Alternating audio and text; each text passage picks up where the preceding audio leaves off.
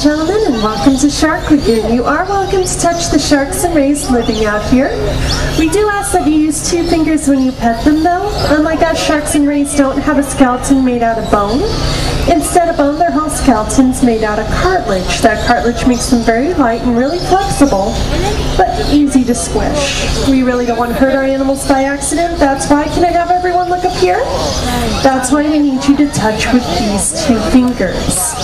Please also be very careful. The wall is very slippery right now and we don't want anyone to fall. If I can make sure no one has their knees or feet on the wall, I'd really appreciate that. Anyway, my name's Diane. If you have any questions, just come over and let me know. We hope you're having a great day at the aquarium. Coming back.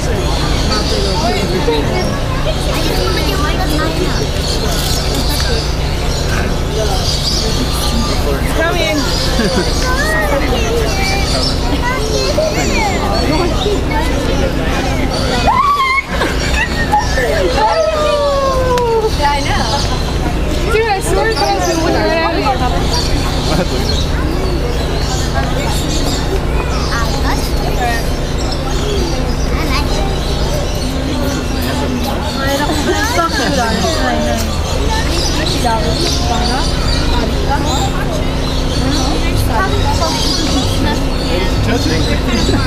at me. Hey, they're weird, huh? They're all like soft. Stingray? How does it feel? It feels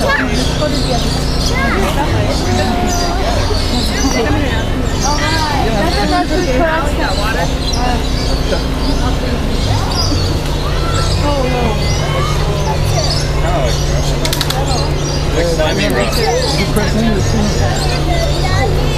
Grab a stick. Yeah.